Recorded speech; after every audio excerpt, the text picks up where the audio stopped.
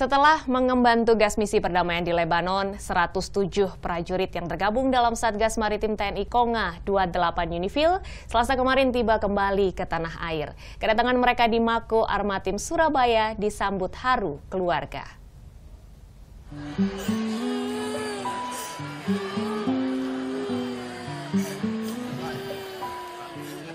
Tangisan Sinta bukan kesedihan, tapi isak tangis kebahagiaan. Bahagia karena kerinduannya pada sang ayah tercinta akhirnya terhapuskan.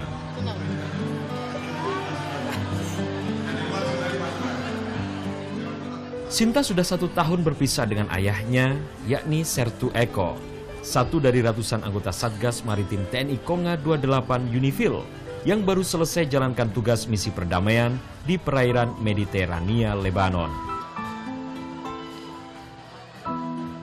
Kini Sinta pun senang karena sang ayah akhirnya kembali ke pelukan. Kangen. Kangen ya? Tadi kan sempat nangis tadi kamu. Kenapa? Kalau diajak jalan-jalan biasanya lihat ayah sama ibunya sama anaknya gandeng rasanya kayak keingetan ayahnya. Terus akhirnya kangen ayahnya. Ini bangga nggak ayahnya sampai tugasnya sampai begini? Bapak?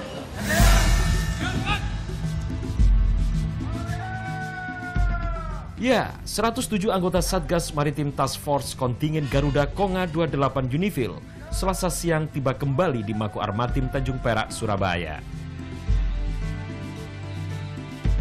Selama setahun, mereka mengembang misi perdamaian di Lebanon di bawah naungan Dewan Keamanan PBB.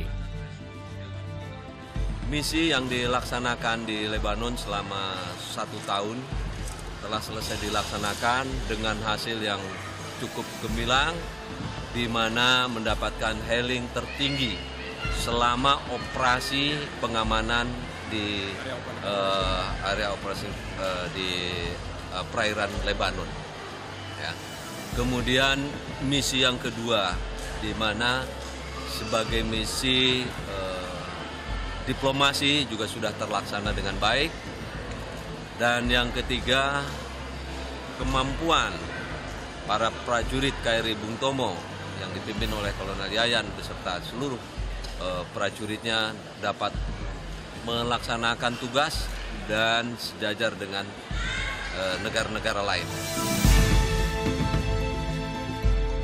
Dengan KRI Bung Tomo 357, Satgas Maritim TNI Konga 28 Unifil sudah tunjukkan prestasi operasi tertinggi di antara kapal-kapal perang dari Jerman, Brazil, Yunani, Turki, dan Bangladesh.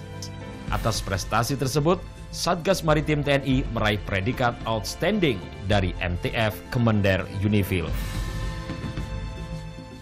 Juli Susanto melaporkan untuk NET.